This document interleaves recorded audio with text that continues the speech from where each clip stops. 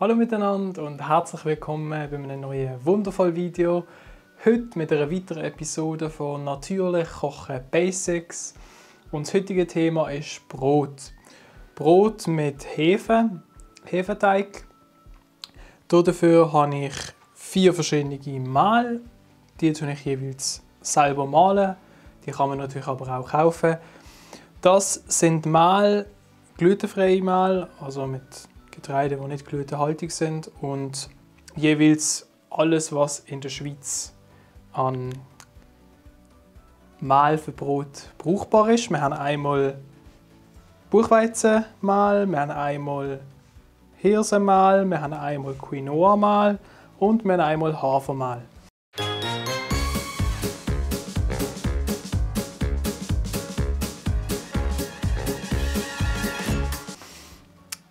Alles jeweils eben aus der Schweiz und selber gemahlen. Wenn ihr natürlich das Mehl kauft, wird es wahrscheinlich nicht aus Schweizer Getreide sein. Aber das wäre auch kein Problem.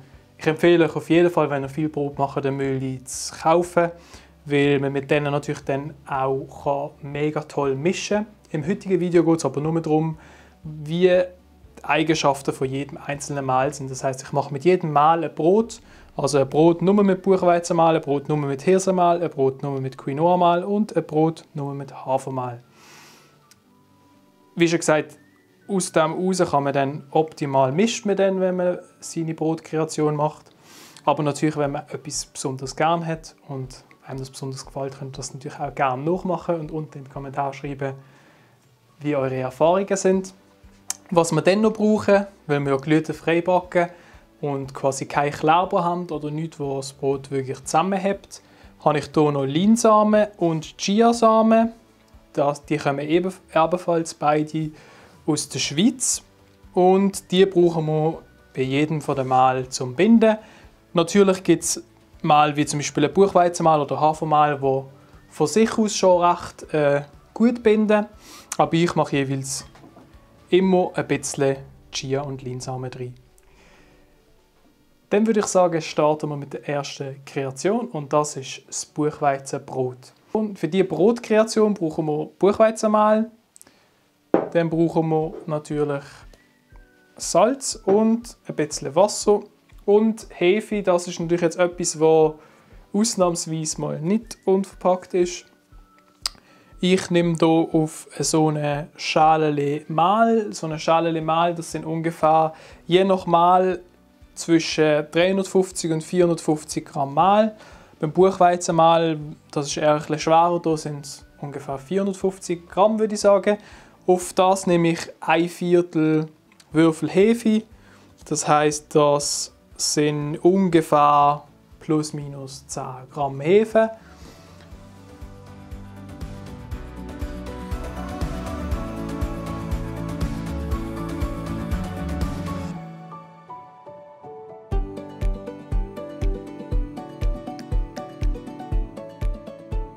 Dann brauchen wir ein bisschen Linsamen und ein bisschen Chiasamen. Die hier geben wir jeweils ungefähr ein Esslöffel Chiasamen und ein Esslöffel Linsamen in so eine kleine Gewürzmühle und das einmal schnell mahlen.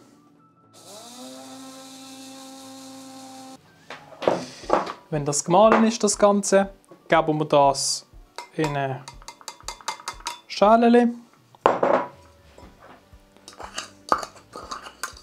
und gießen es mit heißem Wasser, also kochend heißem Wasser auf.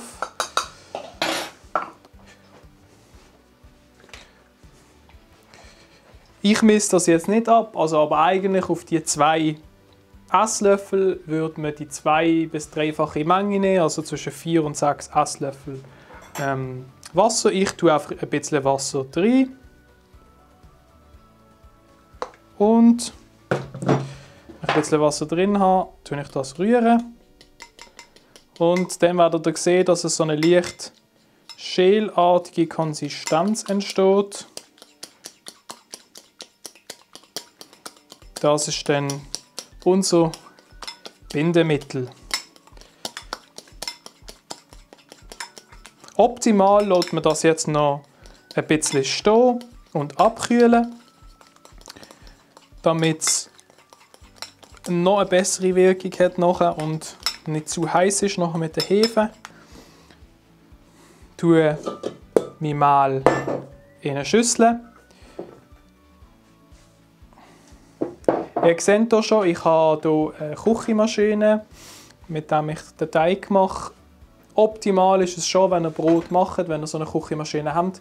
Ihr könnt natürlich aber auch, weil glutenfreie Teige eher ein bisschen ähm, klebrig sind, aber dafür äh, auch ein bisschen flüssiger wie ein normaler Teig, könnt ihr das natürlich auch mit einem, äh, mit einer Gabel oder mit einem anderen Ding einfach so äh, mix, mischen. Ich mache das jetzt mit der Maschine, weil es einfach schneller geht. Tue mein Mehl hier rein, gebe auf diese Menge Mehl ein, ungefähr ein gehäuften Teelöffel Salz dazu.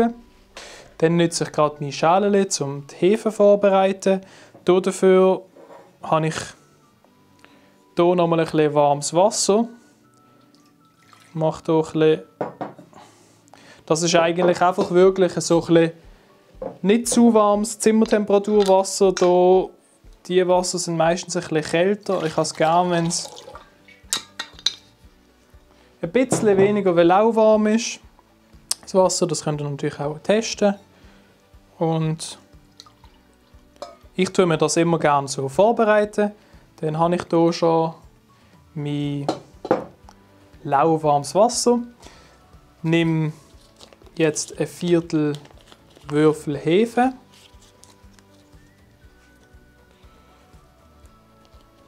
Und gebe da hier rein.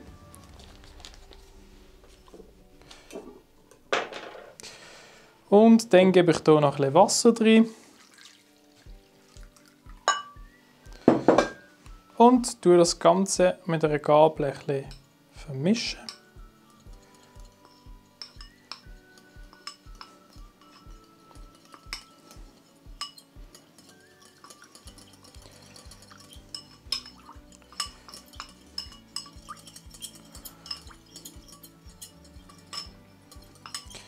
So, danach gebe ich mein Hefewasser hier zum Mal dazu. Hier schauen, dass wirklich nirgends unten sich abgesetzt hat, man schön alles braucht. Dann kommt noch unsere Linsamen Chiasamen, unsere Linsamen Chiasamen dazu.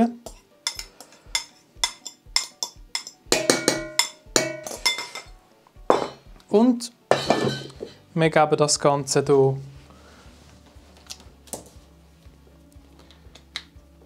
auf die Küchenmaschine und ich nehme am liebsten so einen Knett,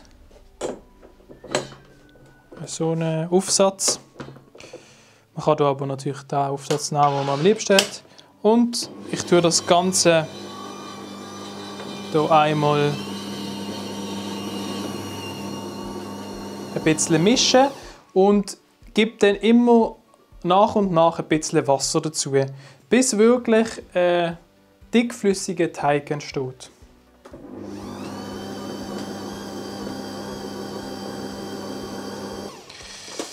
So, wenn wir das ein bisschen knatten haben, dann sehen wir, optimal haben wir hier jetzt eine Konsistenz, die so leicht dickflüssig ist und so abtropft.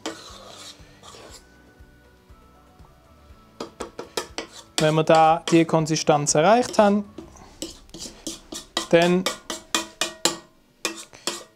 gebe ich das Ganze jetzt in eine, kleinere Schüssel zum aufgehen. Gebe das Ganze hier drin. Wir sehen, es ist ein dickflüssiger Teig. Wenn ich meinen Teig in der Schüssel drin habe, dann dürfte er jetzt für ungefähr eine Stunde aufgehen. Dafür nehme ich ein Tüchle, und tue da von meinem lauwarmen Wasser drauf und gebe das Tuch da drauf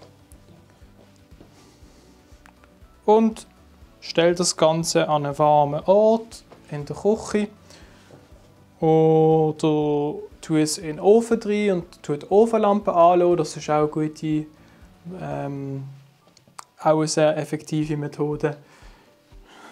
Das da sollte nicht zu warm sein, aber wenn es ein bisschen warmer ist, natürlich ein bisschen schneller. Und das kann jetzt eben, wie schon gesagt, eine Stunde gehen. Wenn der Teig gegangen ist, dann nehme ich eine Kastenform und tue die mit bisschen Öl oder Kokosfett einfetten. Einfach ein Öl rein und mit einem Pinsel schön verteilen. Und dann kommt der Teig in die Form.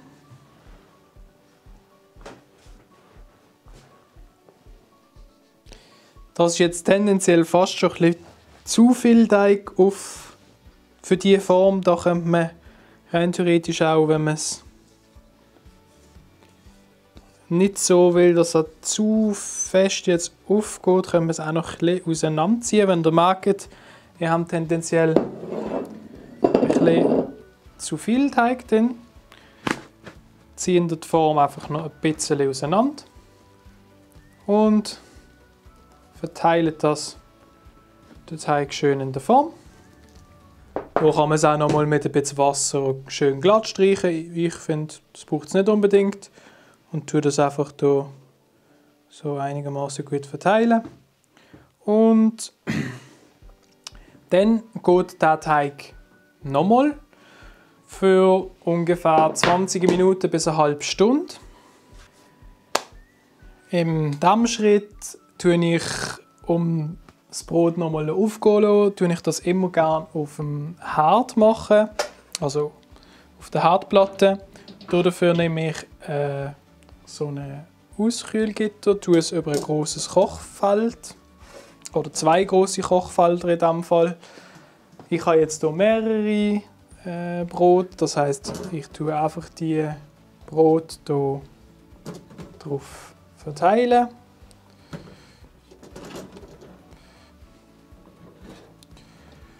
Und dann habe ich zwei hohe Tassen, die ich hier drauf tue. Und das Ziel ist eigentlich einfach, dass es nochmal ein bisschen wärmer ist von, von, von der Temperatur her. Ich lasse in diesem Fall einfach schnell die Platte ganz heiß an, für, äh, bis sie bisschen warm sind. Und danach stelle ich sie dann wieder ab.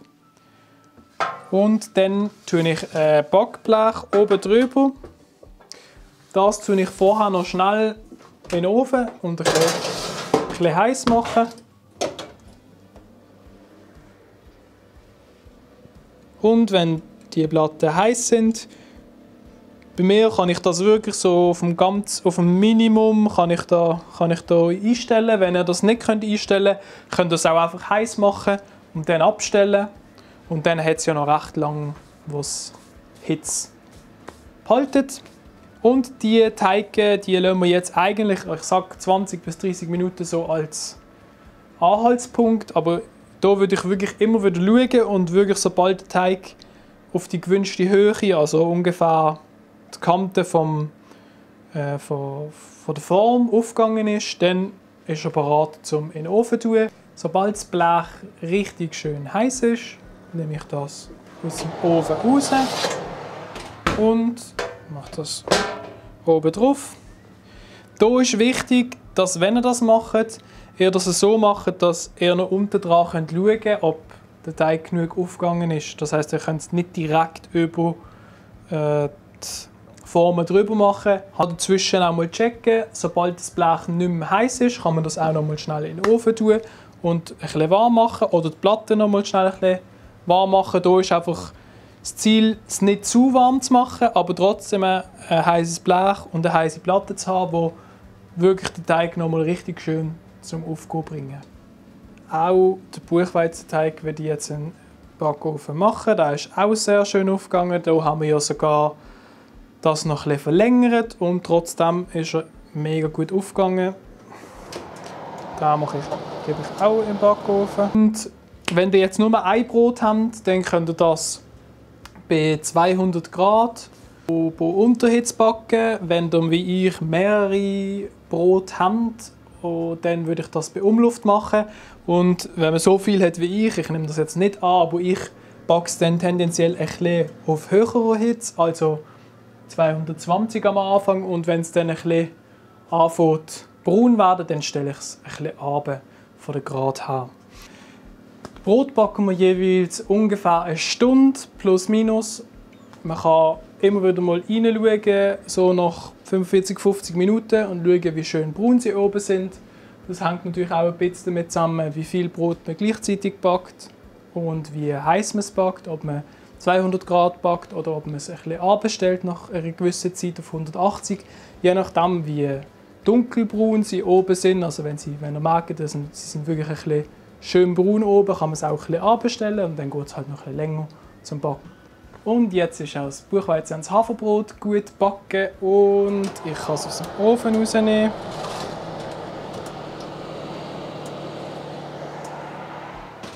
Das ist das Buchweizenbrot. Wir sehen sehr schöne, nicht bröcklige Konsistenz.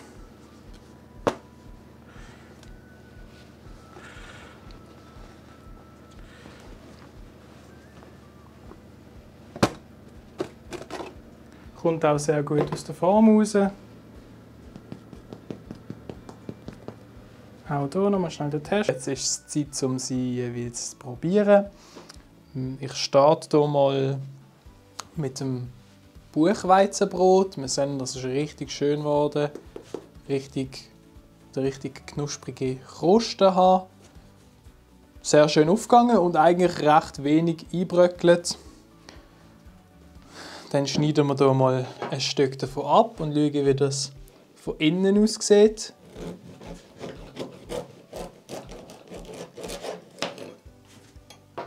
Und wir sehen sehr schöne Konsistenz. Gar nicht bröcklig und schön, schön luftig. Ist auch nicht sehr schwer, ist wirklich vom Aufgehen Jetzt probiere ich das schöne Brot noch und teste mal, wie es geschmacklich ist.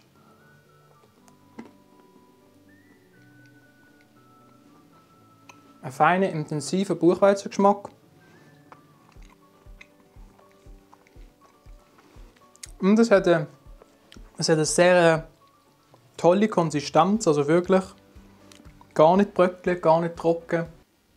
Jetzt kommen wir zur zweiten Brotkreation und das ist Hirsenbrot. Dafür habe ich wieder eine Schale Hirsenmehl. Das sind ungefähr 350 bis 450 Gramm Mehl. Eben für diese Kreation brauche ich einmal so eine Schale Mehl. Dann brauche ich Salz.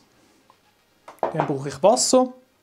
Und zum Binden Chiasamen und Linsamen. Dann brauchen wir natürlich Hefe. Das ist jetzt das Einzige, was nicht unverpackt gekauft ist. Das ist in so einem äh, Papierle. Und von dem brauche ich ein Viertel Würfel Hefe, das sind ungefähr 10 Gramm Frischhefe, auf eine so eine, auf eine so eine Tasse Mehl, also für ein Brot.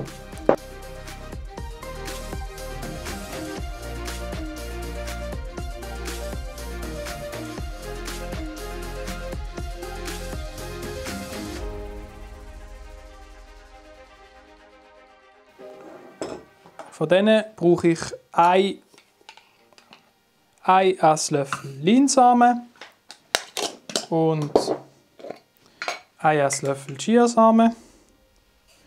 Die gebe ich in so eine Gewürzemühle und für das Ganze schnell mixen. Dann gebe ich das Ganze in eine Schüssel und tue es mit heißem, kochend heißem Wasser aufgießen. Hier, wenn ihr es abmessen wollt, könnt ihr auf die zwei Esslöffel ungefähr 4 bis 6 Esslöffel Wasser nehmen. Ich tue da einfach ein bisschen Wasser rein und mache das nach Gefühl. Und wenn ihr das mischt, dann sollte so eine leicht schälige, schälartige Konsistenz entstehen. Und das ist dann quasi unsere, unser Bindemittel für das Brot. Optimal lässt man das noch ein bisschen abkühlen und im nächsten Schritt geben wir unser Mehl in eine Schüssel. Ihr seht, ich habe hier eine Teigmaschine und macht es mit der. Ihr könnt es aber problemlos auch von Hand mischen. Von der Konsistenz her wird das Brot eher ein bisschen flüssiger, das heißt, es geht auch gut ohne äh, Küchenmaschine. Mit der geht es einfach ein bisschen schneller. Wenn ich mein hier reingegeben habe, dann bereite ich meine Hefe vor. Dafür habe ich mir hier ein lauwarmes Wasser vorbereitet. Das darf wirklich nicht zu warm sein. Ich, nehme, ich denke so ungefähr Zimmertemperatur, also dass wenn er lang jetzt nicht kalt ist, aber auch nicht warm. Dann gebe ich ein Viertelwürfel Hefe ins Schalele.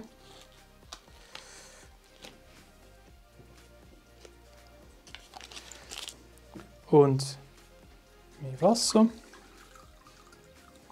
Da spielt es noch nicht so eine große Rolle, wie viel Wasser. Danach vermische ich das ein bisschen vermischen.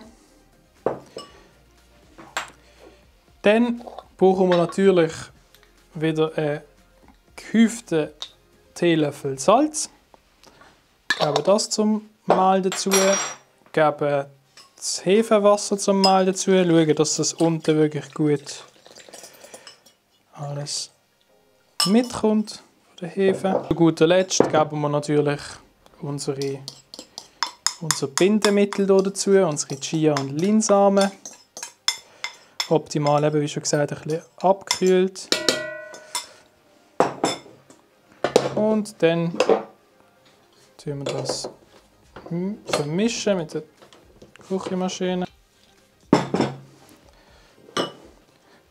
Während das mischt, gebe ich nach und nach ein bisschen Wasser dazu.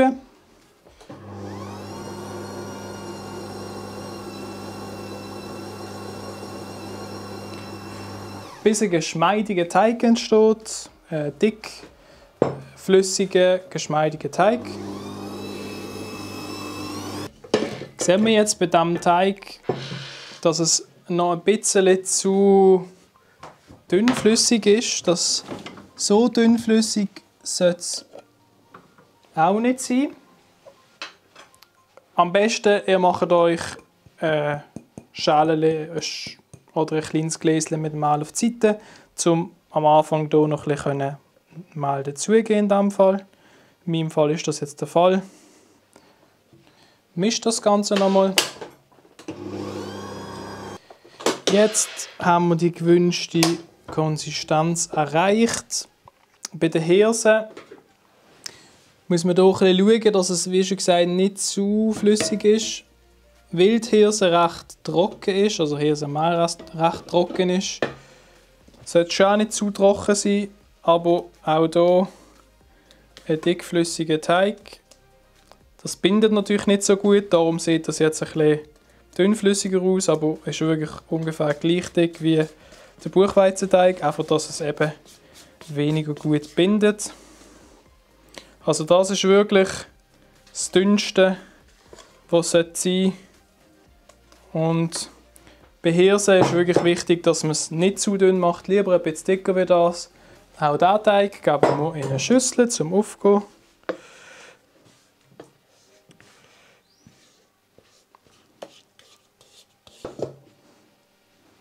Und wenn wir das gemacht haben, machen wir auch hier äh, das Tuch drüber und lassen den Teig für eine Stunde ungefähr an einem warmen Ort in der Küche oder in eurer Wohnung, eurem Haus gehen. Hier haben wir den Hirsenteig, der ist ein bisschen aufgegangen. Wenn der Teig gegangen ist, Dann brauchen wir eine Kastenform und tun die mit ein bisschen Öl oder könnt auch Kokosfett nehmen, ein bisschen einfetten. Geben ein gutes Öl dazu. Geben ein gutes Öl rein, besser gesagt. Und tun das mit einem Pinsel ein bisschen verstreichen. Schön gut in den Ecken und überall. Und geben unseren Teig rein.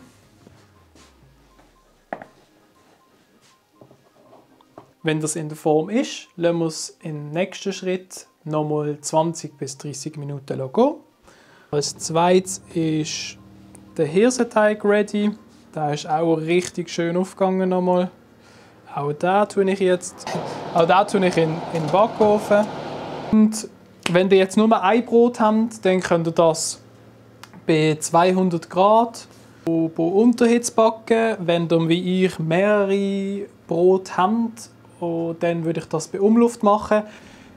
Brot backen wir jeweils ungefähr eine Stunde plus minus.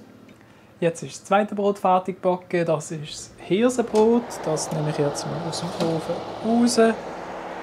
Wie wir sehen, ist hier typisch für das Hirsenbrot, dass es Wild eben nicht so gut bindet, weil Hirse eher trocken ist. Geht es meistens dann nach dem Aufgehen in der Mitte zusammen ist aber trotzdem sehr fein. Und auch das Brot, auch bei diesem Brot, tue ich zuerst noch ein testen. Und wenn es nicht mehr zu hohl klingt, dann kann man auch das aus der Form rausnehmen. So, dann nehmen wir das aus der Form raus. Am besten, das habe ich bei dem jetzt nicht gemacht, am besten tut man es auf den Kopf stellen auch hier kann man nochmal schnell checken, damit das dann wirklich schön knusprig wird nachher. Dann kommen wir zu unserem Hirsenbrot. Hier sehen wir schon, es ist, äh, weil es nicht so gut bindet wie die anderen, weil es eher ein trockenes Mehl ist, ist es ein bisschen äh, in der Mitte. Das ist wirklich die Knusprigkeit in Person wahrscheinlich, also sehr, sehr knusprig aussen. Auch hier. Eigentlich ist es sehr gut aufgegangen, eben einfach bis auf das, dass es einfach von, von der Eigenschaft vom Mal her dann ein bisschen zusammengeht, weil es nicht genug gut bindet. Auch hier schneiden wir das mal an und schauen, wie das von innen aussieht.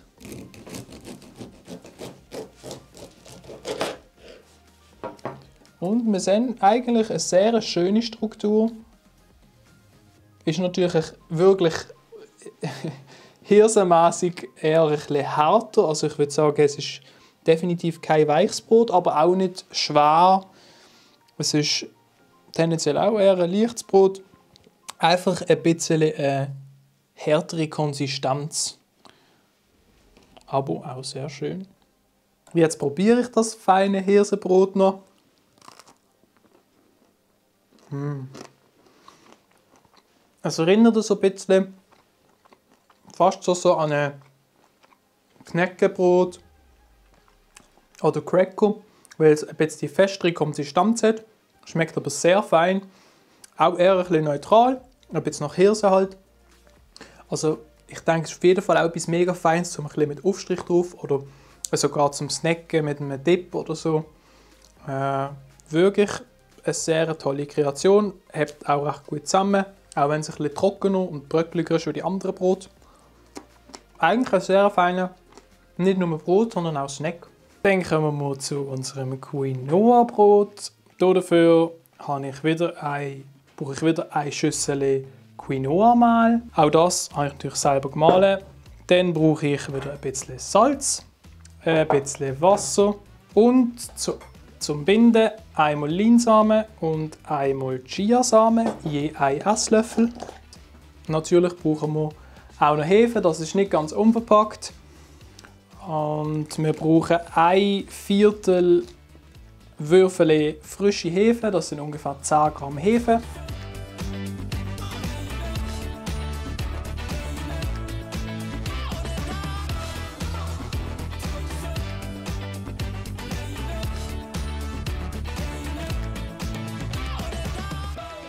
Da gebe ich in so ein kleines Gewürzmühlchen. Ein Esslöffel Linsamen. Ein Esslöffel Chiasamen. Und tu das schnell mixen. Dann gebe ich das Ganze in Schüssel. Optimal lässt man das bisschen stehen, dass es bisschen abkühlt. Und vor allem wegen der Hefe nachher im Teig. Als erstes gebe ich mein Quinoa mal in eine Schüssel.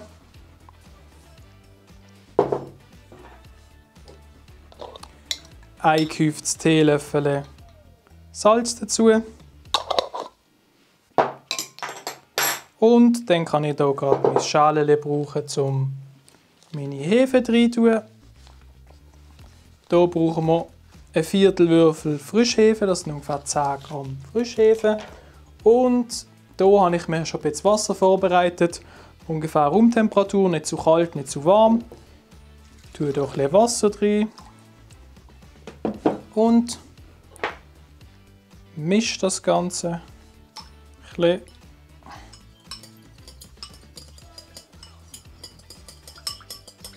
Dann gebe ich hier noch mein Hefewasser dazu. Schaue, dass hier wirklich alles von der Hefe mitkommt. Und zum Schluss kommt noch, kommen noch die Lean- und Chiasamen rein. Unser Bindemittel.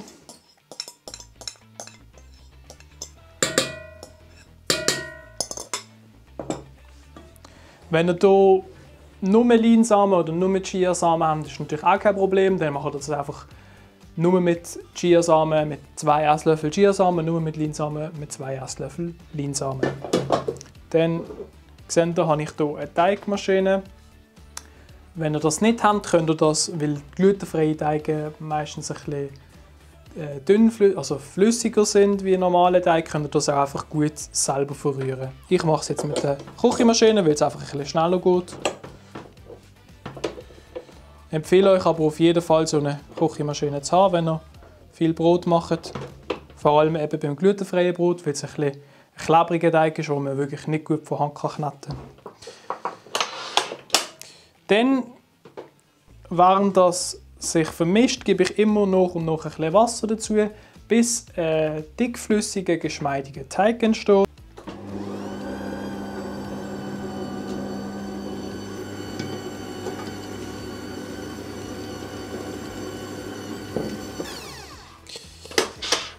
So, jetzt haben wir hier wieder unsere gewünschte Konsistenz erreicht. Auch beim Quinoa mal ist es so, dass das nicht so gut bindet wie jetzt ein Buchweizenmehl. Deswegen sieht man auch hier, von der Konsistenz her ist es recht ähnlich wie die anderen Mal. Einfach, dass es halt eben ein bisschen weniger gut bindet.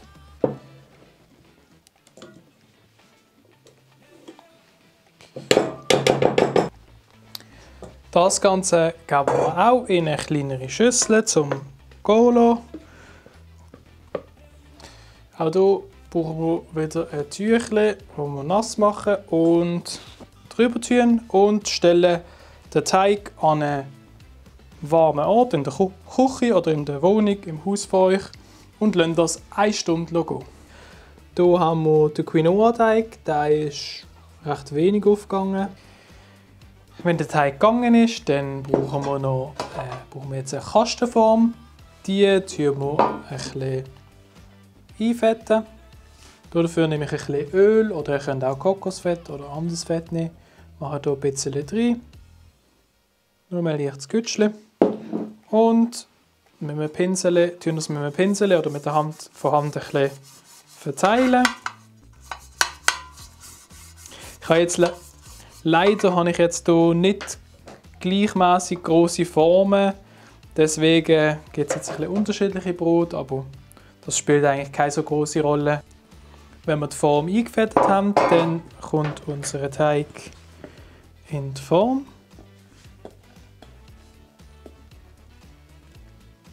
Hier sehen wir jetzt auch, es ist tendenziell eine zu kleine Form für diesen Teig.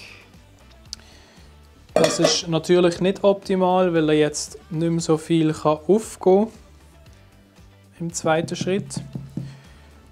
Da muss man halt schauen und ihn nur so lange aufgehen lassen, wie bis es halt wird drüber kommt. Das darf natürlich dann schon nicht überlaufen.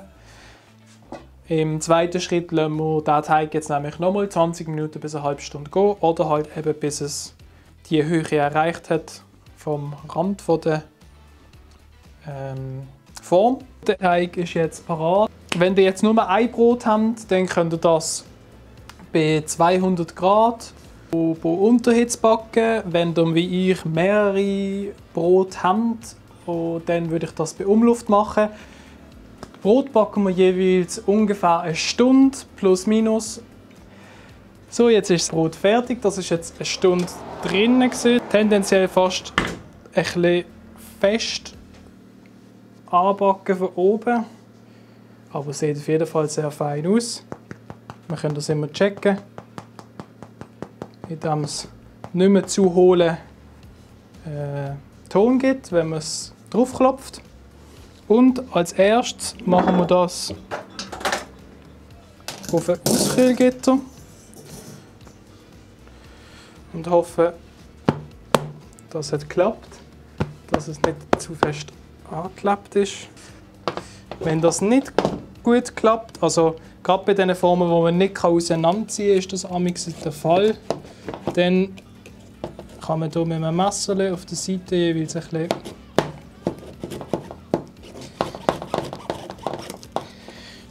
einstechen.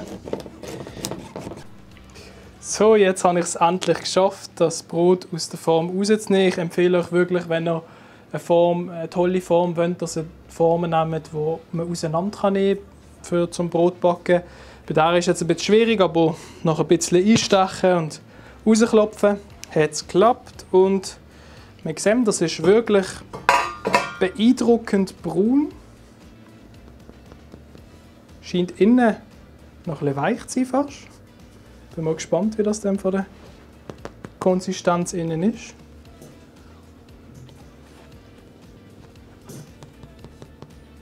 Und das lassen wir jetzt auf einem Auskühlgitter abkühlen. Und sobald es abgekühlt ist, probieren wir das. Und dann kommen wir zum Spezialbrot. Oder auch, das ist jetzt auch das erste Mal, wo ich das mache.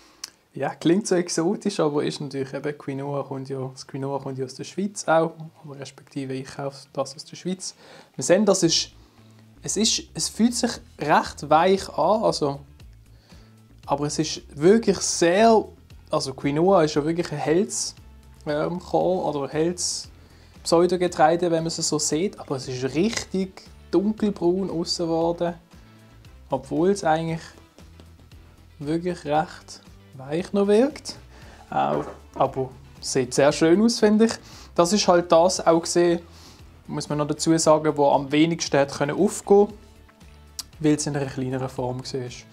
Aber wenn das in einer größeren Form gesehen wäre, dann wäre das, nur weil es ein bisschen kleiner aussieht wie die anderen, dann wäre das auf jeden Fall gleich groß wie die anderen. Auch hier schneiden wir das mal an und schauen, wie das von innen aussieht.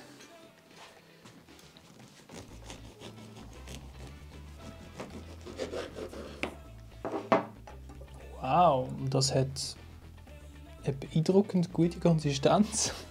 Es ist eher ein bisschen feuchter von der Konsistenz und richtig schön weich. Ich würde sagen, es ist von der Weiche her wie ein Haferbrot, aber von der Konsistenz wirklich sehr schön. Also ähm, fast noch ein bisschen feinporiger, wie Buchweizen zum Beispiel. Also sehr beeindruckend. Ich würde sagen, das gefällt mir jetzt so, ohne es zu probieren, vom Aussehen her am meisten. Dann probiere ich das Quinoa-Brot noch.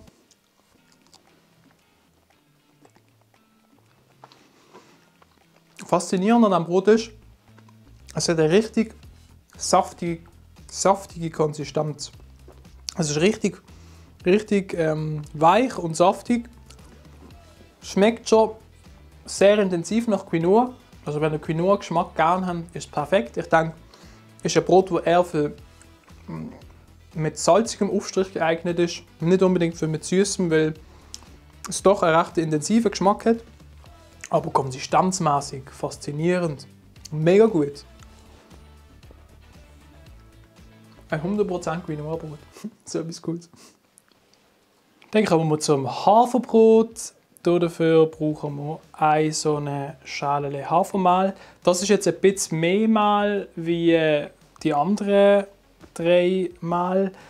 Das liegt daran, dass Hafermehl viel leichter ist und ich das wirklich mal ohne das noch zu filtern.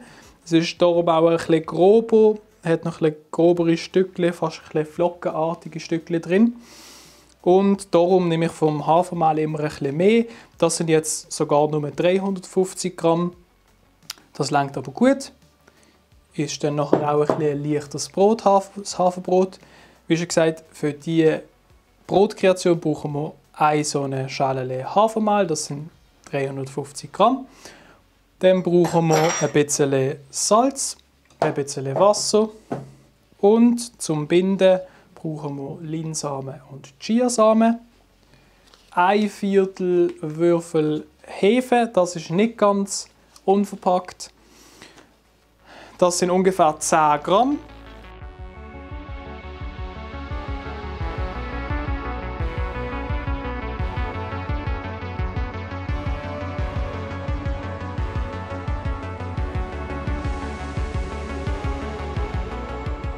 Die, von denen tun wir jeweils ein Esslöffel Linsamen in ein Gewürzemühle und ein Löffel Chiasamen drin und tun das kurz mixen. Wenn wir das gemixt haben, geben wir es in eine Schale.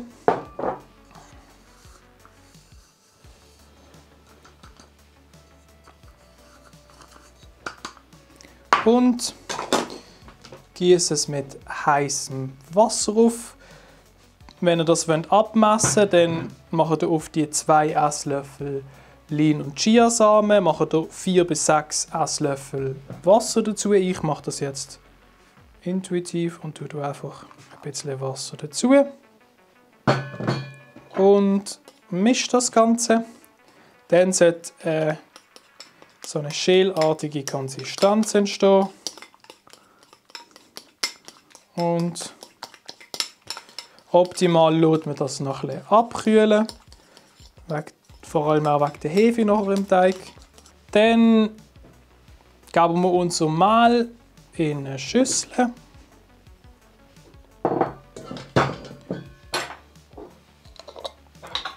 Ein gehäuften Teelöffel Salz dazu.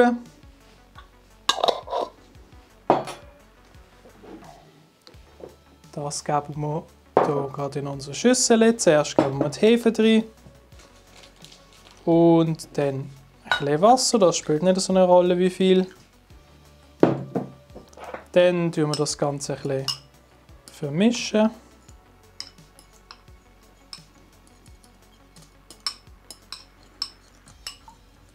Geben das Hefewasser zum Mehl und Salz dazu. Hier schauen wir, dass wirklich alle Hefen mitkommt.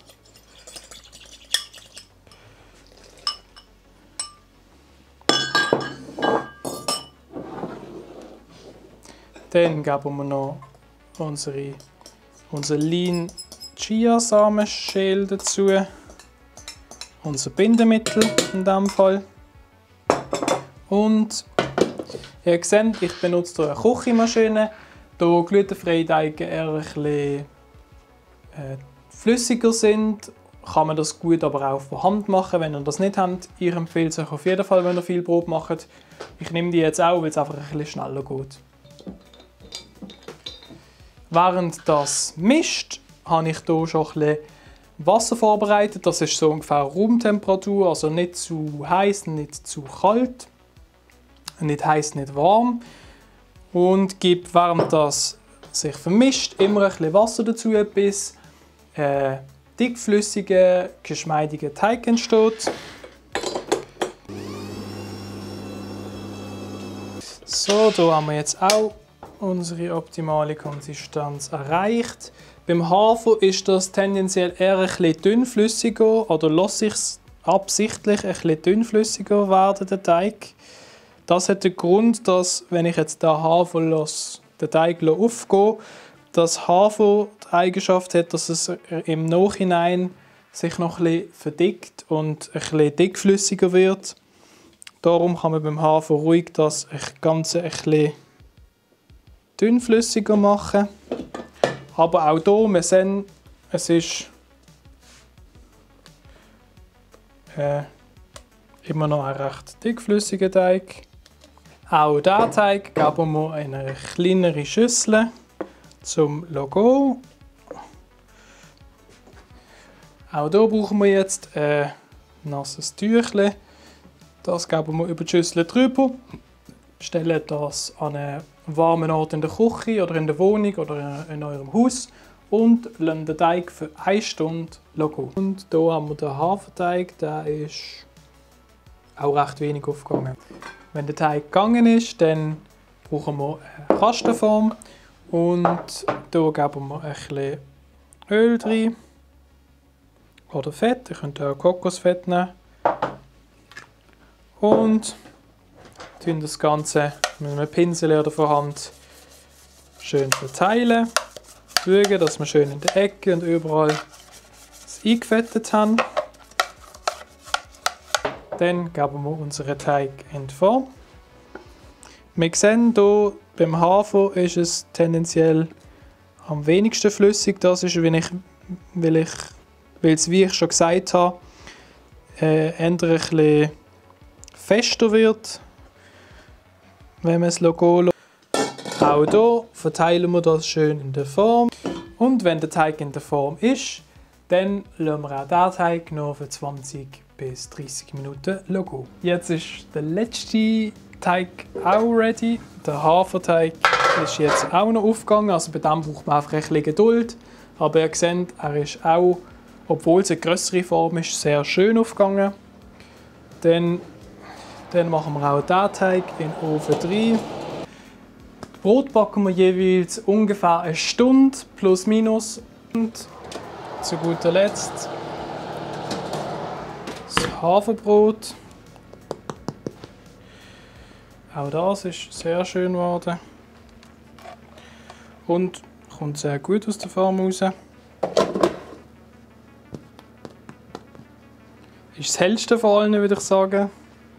Das ist das Haferbrot. Das ist das hellste. Ist auch schön, ja, eigentlich nicht so, also schon knusprig, aber recht weich geblieben. Und auch hier schauen wir mal, wie das von innen aussieht.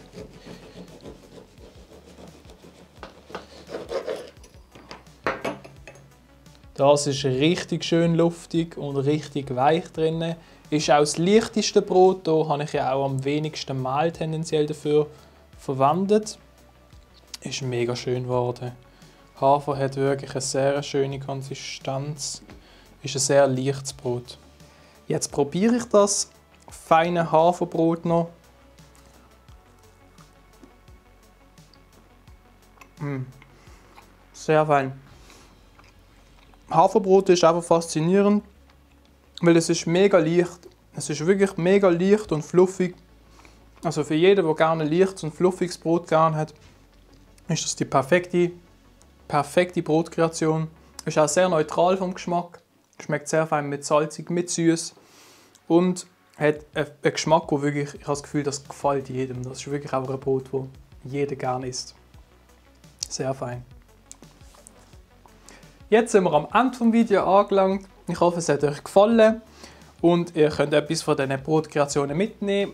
Wie schon am Anfang gesagt, das Optimum ist, wenn ihr diese Eigenschaften jetzt gesehen habt, dass ihr mit diesen Eigenschaften eine Mischung macht, also zum Beispiel ein Buchweizen-Haferbrot oder ein Hirse-Haferbrot oder ein Quinoa, ähm, Buchweizenbrot und so weiter und so fort. Da könnt ihr wirklich ein bisschen experimentieren.